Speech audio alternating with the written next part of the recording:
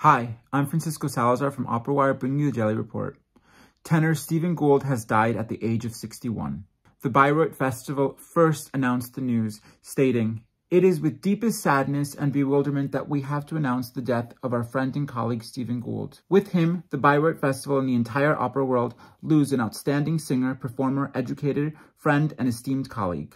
The news comes only a few weeks after the tenor had announced that he was retiring due to a terminal cancer diagnosis. In early September, he said, For all of my fans and well-wishers, I have waited till the end of the Bayreuth Festival so as not to hinder the tremendous and heroic efforts displayed by this year's 2023 team.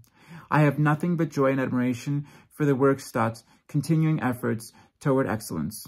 I was diagnosed with bile duct cancer with complications. It is a fatal disease with an outlook of several months to 10 months. There is no cure.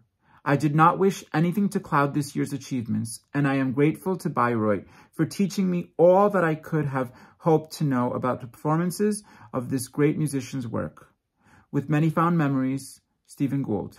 Throughout his career, Stephen Gould performed in Valencia, Bayreuth, Amsterdam, Hamburg, Zurich, New York, London, Tokyo, Dresden, Berlin, Birmingham, Vienna, Paris, and many more. For more information, check out operawire.com. And that's your daily report.